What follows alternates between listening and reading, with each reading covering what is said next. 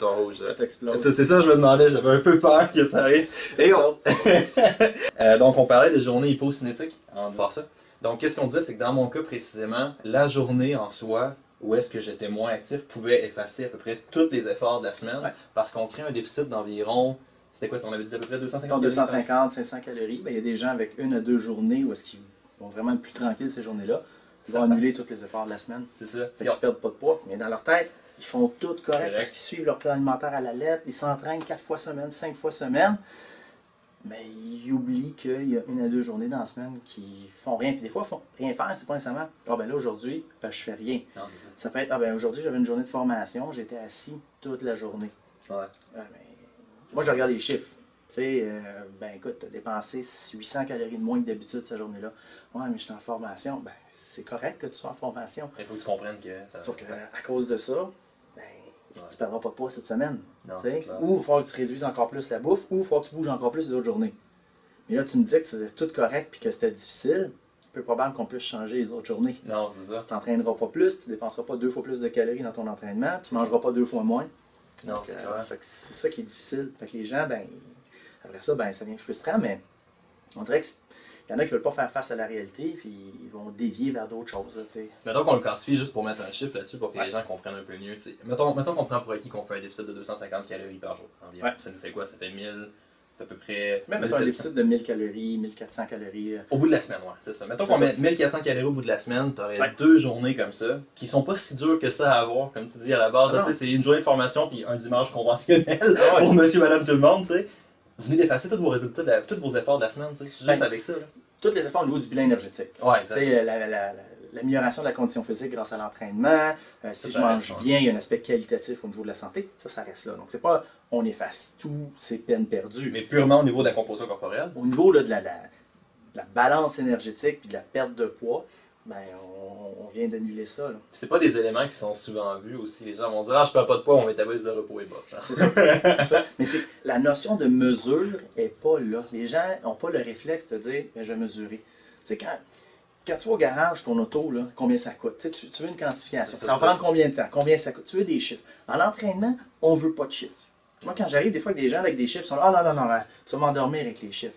Ouais, mais c'est important. Tu sais. C'est On va ça. pas voir ton comptable puis en disant Ah, parle-moi pas de chiffres, parle-moi pas de chiffres. Ben, c'est ça. Puis la perte de poids, ben, au premier niveau, c'est un exercice de C'est comptabilité. ça. Puis c'est drôle parce que les gens cherchent des hacks, justement. Ils cherchent des trucs qui vont comme, défaire tous les fondements principaux de la physique en prenant pas pour acquis que, comme tu dis, au bout de la ligne, c'est de la comptabilité. au bout de la C'est ligne, ça. c'est un déficit énergétique quand même. Puis la qualité.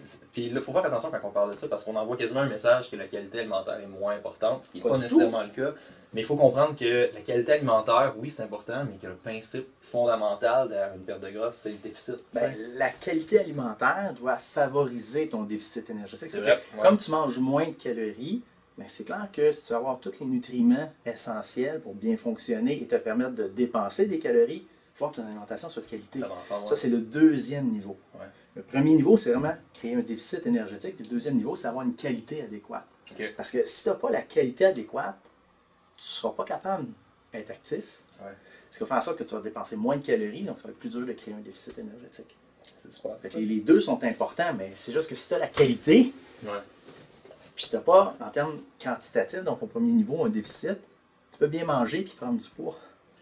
C'est quoi, que tu, quoi que tu suggérais aux gens qui veulent changer leurs habitudes de vie, soit pour perdre du gras ou non? Ben, pour perdre du gras, mettons, on reste dans, dans l'optique qu'on est. Pour perdre Ouais. du gras en ce moment, qu'est-ce que tu suggères? Pour perdre du gras en ce moment, Qui veulent débuter. Qui veulent débuter, ben, la première chose, c'est de faire un bilan de ses habitudes de vie. Tracer le portrait d'ensemble de c'est quoi ma vie actuellement, Ouais, sachant que c'est cette vie-là qui fait en sorte qu'ils ont cette composition corporelle-là. Comment est-ce qu'on mesure? Ben, c'est de faire évaluer sa composition corporelle si on peut. Ouais. Si on peut pas, ben, une prise de poids, ça, peut faire c'est un minimum. là, un Ouais, minimum. Ensuite de ça, ben, c'est de faire l'inventaire de ses habitudes alimentaires. Sous forme de journal ou. euh, Ben, moi, je dirais plus simplement. J'utiliserais un outil qui est assez facile d'utilisation, qui est le guide alimentaire canadien. Puis je me comparerais. Et on veut te faire des haters dans le monde de l'entraînement en ce moment. Ah, c'est sûr, parce que tout le monde dit que le guide alimentaire canadien, c'est pas bon, c'est pas comme ça qu'il faut manger. ouais. Moi, je dis pas qu'il faut manger comme le guide alimentaire canadien. Non, c'est Je ça. dis qu'on prend un outil de comparaison, parce que ça prend une référence. Ouais. Moi, je veux savoir, eh, c'est quoi mon mode de vie, mais il faut que je le compare à quelque chose. Fait que tout ce qu'on fait, c'est qu'on utilise le guide alimentaire canadien qui est, dans un premier temps, pour déterminer c'est quoi une portion. Quelqu'un qui part vraiment de loin, c'est pas si pire que ça. Ah, C'est comme tu dis. Même quelqu'un d'avancé, moi, les athlètes de fitness, j'ai j'ai utilisé le guide alimentaire canadien parce que ça te dit, mais c'est quoi une portion? Parce que moi, je te dis, OK, on va prendre une portion de pâte. Non, c'est quoi une portion de pâte? J'ai aucune idée. C'est une assiette de pâte. Non, non, ça, c'est quatre portions. C'est ça. Fait que juste pour qu'on parle la même chose, ça, c'est un outil qui est facile de compréhension, de dire, ben, moi, quand je te dis une portion, c'est ça. Je fais référence à ça. Après ça, combien tu as besoin de portions? Ben là, ça va dépendre de ton mode de vie, ça va dépendre de plein de facteurs, mais regarde donc combien de portions tu prends par ça. rapport aux recommandations du guide alimentaire. Puis tu sais, la conscience alimentaire, moi c'est un gros principe derrière le suivi en ligne puis de ça. Puis les gens sont tellement pas conscients de ces choses-là justement. Puis ça c'est un principe, puis le monde voit pas que c'est un skill, c'est une habileté qui prend une vie à se développer. Tu sais, ça peut tout le temps s'améliorer, être Ah, conscient de ce qui rentre dans ton corps, tu sais.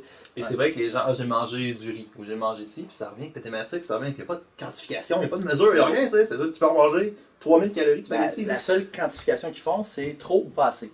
Ouais! J'ai pas assez mangé aujourd'hui, Ouais, j'ai trop ça. mangé d'ici, j'ai trop. De combien trop? Fait que juste, c'est pas de tomber fou dans les chiffres, chercher à mesurer et tu fais précis, on pourra pas. Non. Mais encore une fois, il y a une différence entre pas être capable de super bien mesurer puis pas mesurer du tout.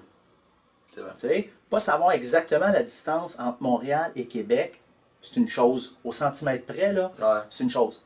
Mais pas savoir que, écoute, ça va te prendre plus qu'une heure de route faire Montréal-Québec. Ça peut être intéressant à savoir. Ouais, c'est un petit peu ça. Fait que le guide alimentaire canadien, comme outil de référence, ça peut être un- une bonne affaire. Puis tu sais, ben moi, je mange deux fois plus que ce qui est recommandé dans le guide alimentaire canadien.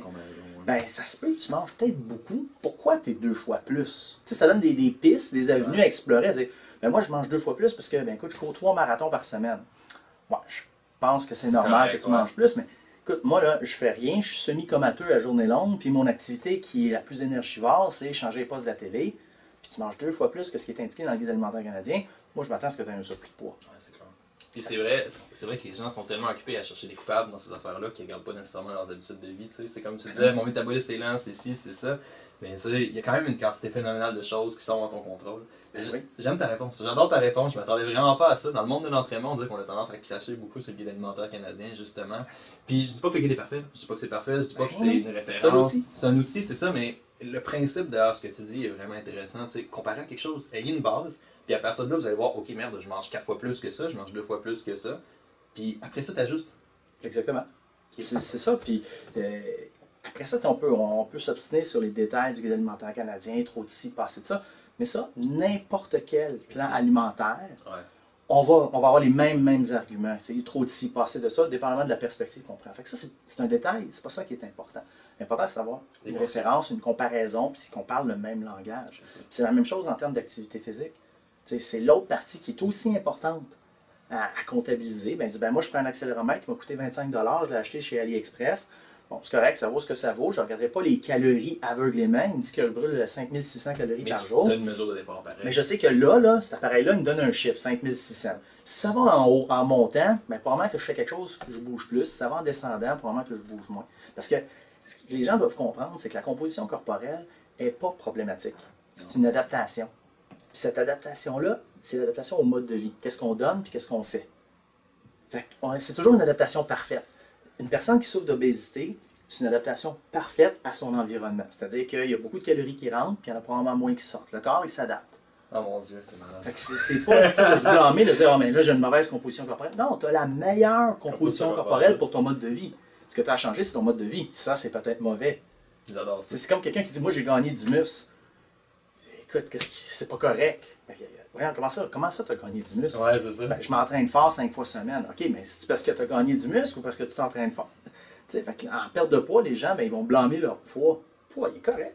Ouais. C'est ce que tu fais. Qui dans Tu mon- fais pas qui est le problème. C'est malade ça, j'adore ça. C'est, euh, on va juste faire un petit recap, puis on va finir ça. C'est vraiment une merveilleuse façon de finir. Donc, concrètement, euh, si j'ai bien compris, ce que tu suggères aux gens de partir avec ça, c'est vraiment de quantifier, puis d'avoir une base, puis d'avoir une conscience des portions, beaucoup au niveau alimentaire. Puis je pense que c'est un truc Ouais. qui est pas là souvent. Fait que si vous cherchez une voie de départ, je pense que ça peut être vraiment intéressant juste de partir avec ça, puis au moins d'avoir une idée de c'est quoi une portion, puis de bâtir là-dessus un peu plus. Exact. Juste une référence, juste avoir une idée, puis pas se lancer dans des choses qu'on ne peut pas quantifier, Ouais. puis pas blâmer des choses qu'on ne peut pas mesurer. Blâmer ses hormones, blâmer, blâmer son métabolisme, ben, si vous êtes capable de le mesurer puis vous avez un chiffre, C'est là, ça. vous blâmerez. Mais sinon, Même le vous 10 ne 000 savez pas. Même le 10 000 pas, tu sais, le 10 000 pas, c'est une mesure qui, oui, sort un peu de nulle part, tu sais. Je pense pas qu'il y ait tant d'études qui ont validé le 10 000 pas en soi. Pas beaucoup, non. Mais si tu es à 2000 pas vis-à-vis de 10 000, tu sais qu'il y a un problème. C'est ça.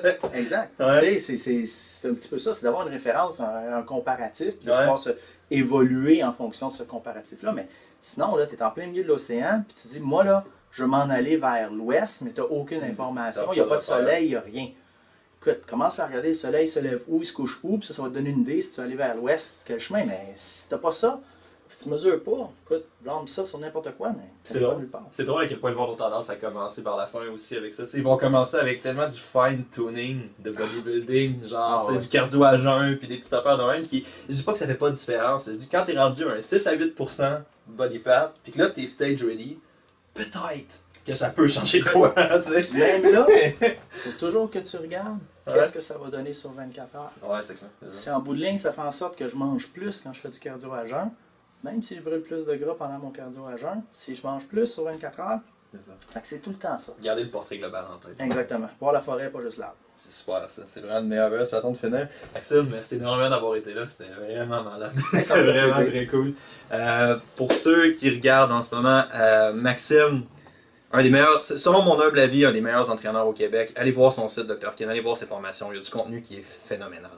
Donc, merci beaucoup d'avoir été là. Euh, si vous avez aimé, si vous avez aimé cette vidéo, n'hésitez pas à aimer, à commenter ou à partager. Puis on se voit la semaine prochaine. Bouton rouge, C'est sûr? ça va-tu tout exploser? Non.